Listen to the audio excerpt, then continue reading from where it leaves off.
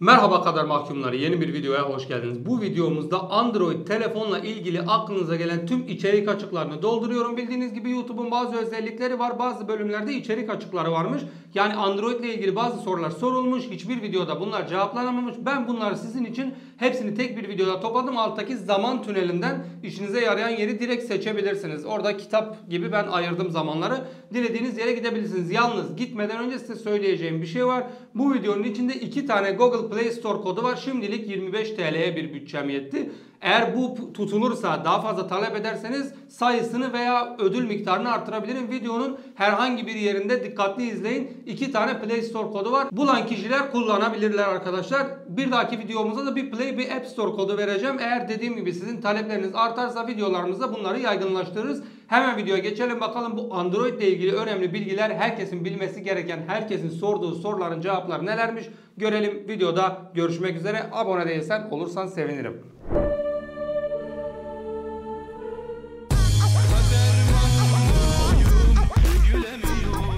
İlk konumuz Android telefonlarda uygulama gizlemenin nasıl yapılır? Gördüğünüz gibi biz ana sayfadayız. Burada çeşitli uygulamalar var. Bunlardan birini gizlemek için ana ekranı herhangi boş bir yerine basılı tutuyorum. Burada ayarlar bölümü çıkıyor. Ayarlar bölümüne tıklıyorum arkadaşlar. Aşağı doğru iniyorum uygulamaları gizli adı altındaki seçeneği görüyorsunuz. Buraya tıkladık. Buradan sonra dilediğiniz uygulamayı seçerek gizleyebilirsiniz. Daha sonra görünür hale getirmek için de aynı işlemi yapmanız yeterli olacaktır. Gelelim bir sonraki sorumuza. Bu sorumuzda Android telefonlarda Google hesabı nasıl kaldırılır olacak? Hep birlikte adımları uygulayalım. Telefonumuzu aldık. Ayarlar kısmına giriyoruz arkadaşlar. Ayarlar kısmına geldikten sonra ya arama yerine ya da aşağıda hesaplar yazıyorsunuz. Hesaplar yazan yeri buradan bulmanız gerekiyor arkadaşlar. Hesapları bulduğumuzda hesapları bulduğumuzda burada hesapları yönet var hesapları yönetin üzerine tıklıyoruz. Tekrar hesapları yönetin üzerine tıklıyoruz. Gördüğünüz gibi burada hesaplarımız mevcut. Kaldırmak istediğiniz hesabın üzerine bastıktan sonra hesabı kaldır seçeneğine basarsanız Google hesabını telefondan kaldırmış olursunuz. Yalnız Google hesabınızı silmiyorsunuz. Google hesabını sadece bu cihaz üzerinden kaldırmış oluyorsunuz. Bilginiz olsun. Bir sonraki konumuz Android telefonlarda iPhone emojisi yapma. Arkadaşlar bu içerik boşluğu olarak görünüyor ama benim buna dair bir videom zaten kanalımda mevcut. Şu an şurada çıkan i harfine tıklarsanız siz de Android telefonlarda iPhone emojisinin nasıl yapıldığını göreceksiniz arkadaşlar. Videoyu izleyin. Eğer burada farklı bir işiniz yoksa o videoyu izledikten sonra buraya da devam edebilirsiniz. Dediğim gibi i harfine tıklayarak veya açıklama kısmından bağlantıyı eklemiş olacağım. Oralardan izleyebilirsiniz. Sen kanala abone olmayı unutma. Ayrıca bildirimleri açarsan Play Store kodlarından, App Store kodlarından ve bu harika bilgilerden yararlanabilirsin. Videoya devam edelim. Geliştirici seçeneğiyle ilgili birçok şey anlatılıyor. Bazı arkadaşlarımız geliştirici seçeneklerinin nasıl açıldığını bilmiyorlar arkadaşlar bunları hemen sizin için çözelim. Ayarlar kısmına giriyoruz arkadaşlar her zamanki gibi. Ayarlar kısmına gelip en aşağı doğru iniyoruz. Burada telefon hakkında diye bir bölüm var. Telefon hakkında bölümüne tıkladıktan sonra bakın burada yazılım bilgileri var. Yazılım bilgilerine giriyoruz. Yapım numarasının üzerine 7 defa arka arkaya tıklıyoruz arkadaşlar. Yapım numarasına 7 defa tıkladıktan sonra geliştirici mod açılıyor. Bakın zaten geliştirici mod etkin diyor. Geri gelelim. Gördüğünüz gibi geliştirici seçenekleri bölümüne tıklıyoruz. Bu şekilde kullanabiliyoruz. Kapatmak isterseniz de zaten üst tarafta açık yazıyor. Şuraya şu tike basarsanız geliştirici seçenekleri telefonunuzda kapatmış olacaktır. Bir sonraki sorumuz Android telefonlar için ekran kaydedici soranlar olmuş. Benim kullandığımı size göstereyim arkadaşlar. Ben bundan gayet memnunum. Telefon modeline gayet iyi şekilde e, çalışıyor. Hiçbir sorun olmuyor. AZ Screen Recorder. Buna tıklayalım hatta özelliklerine bakalım ne gibi özellikleri varmış.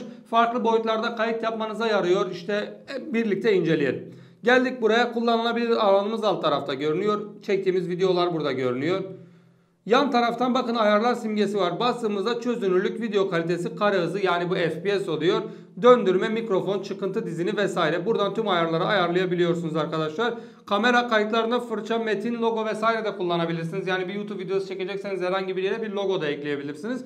Ben bu uygulamayı gayet başarılı buluyorum. Dilerseniz bunu kullanabilirsiniz veya sizin daha iyi bildiğiniz bir ekran kaydedici varsa Android telefonlar için yorumlar kısmına yazın. Diğer arkadaşlarımız da bundan yararlansınlar. Şimdi gelelim Android telefonlarda QR okut. Bildiğiniz gibi Android telefonlarda Google bölümü oluyor. Google bölümüne girdik. Buradan tarayıcıdan değil direkt Google'un üzerine bir kez tıklıyoruz. Google'a tıkladıktan sonra gördüğünüz gibi mikrofon ve kamera var. Arama kısmının hemen yanında. Şu kameranın üzerine bir defa tıklıyoruz arkadaşlar. Bizi şöyle bir alana getiriyor. Gördüğünüz gibi buradan metin, çeviri, ev ödevi, arama diyoruz. Kameranızla arama yapın diyor. Şuraya tıklıyoruz. Şöyle bir kare bizim için oluşturdu. Şimdi diğer telefondan ben herhangi bir QR okutacağım.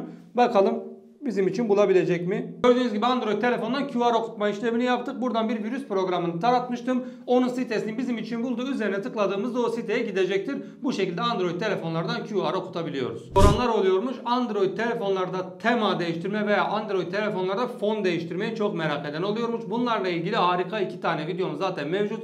Şuradaki i harfine tıklayarak onları da görebilirsiniz. Sizin için onları da şu an arka arkaya buraya bıraktım. Merak ettiğinizi gidip daha detaylı bir şekilde burada bir dakika dinleyeceğinize orada daha detaylı şekilde izleyip en hoşunuza gideni, en iyi olanı seçip telefonunuza uygulayabilirsiniz. Android telefonlarda uygulama kilitlemeye birlikte bakalım. Bazı üst düzey Xiaomi telefonlarda kendinden uygulama kilitleme var ama daha düşük modeller veya Samsung'larda uygulama kilitleme yok. Bunun için bir uygulamaya ihtiyacımız var. Hemen Play Store'a girelim bakalım bu uygulamamız hangisiymiş. Sen kanala abone olmayı unutma. Ayrıca bildirimleri açarsan Play Store kodlarından, App Store kodlarından ve bu harika bilgilerden yararlanabilirsin. Videoya devam edelim. App Lock yazıyoruz. Ben en baştakini daha önce kullanmıştım. Hatta bir videomuzda da App Locker'ı kullanmıştık. Bu şekilde bunu kullanmıştım. Bunlardan hangisini istediyseniz, hangisini beğendiyseniz ikisini de deneyip indirebilirsiniz.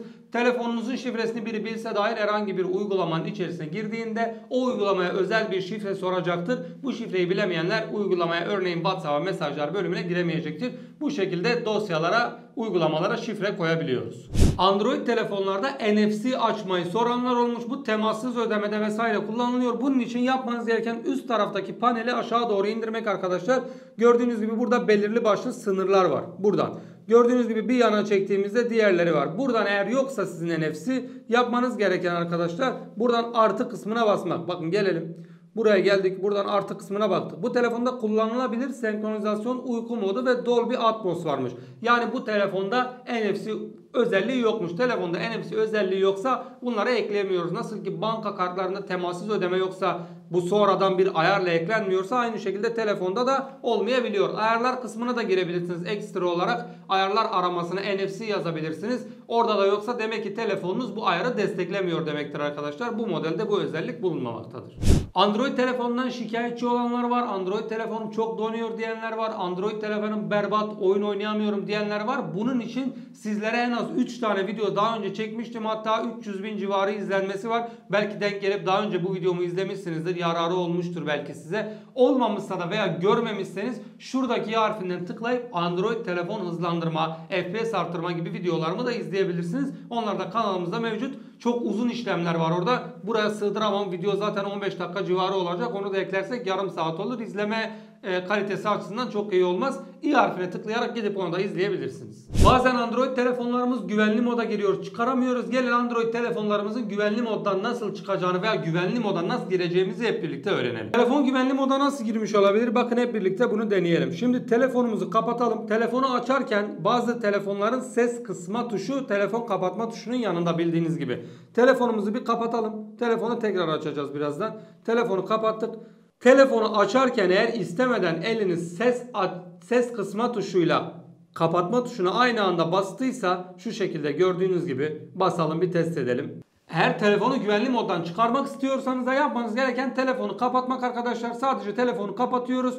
Bir 5 dakika civarı bekledikten sonra telefonu açarsanız kendiliğinden zaten güvenli moddan çıkmış olacaktır. Bilginiz olsun. Bunun dışında bir yöntem eğer sen biliyorsan dostum yorumlar kısmına yaz. Hep birlikte öğrenip daha iyi videolar, daha iyi içerikler üretebilelim. Son olarak Android telefonlarda istenmeyen pop-up reklamlar, istenmeyen virüslerin telefona bulaştığını anlamamız ve bunları önlememiz için bir yöntem var. Onunla da ilgili bir videom var. Şuradan tıklayarak o videoya da gidebilirsiniz. O videoyu da izleyip telefonunuzdan istenmeyen reklamları, virüsleri bu şekilde engelleyebilirsiniz. Umarım video işinize yaramıştır. Aradığınız sorulara cevap bulabilmişsinizdir. Play Store kodunu da umarım iki kişi bulup e, kullanmıştır. Ben güle güle kullanın diyorum bulan kişiler. Dediğim gibi ilerideki videolarda daha fazla ödül dağıtmaya çalışacağım bütçem el verdiğince. Kanala abone değilseniz olursanız çok sevinirim. Bildirimleri açmayı unutmayın ki bu tarz Play Store kodlarını ya da bu tarz bilgilere daha önce ulaşmak için de bildirimleri açabilirsiniz. Umarım video işinize yaramıştır. Dediğim gibi bir dahaki videoda görüşmek üzere. Kendinize iyi bakın. Hoşçakalın kader mahkumları.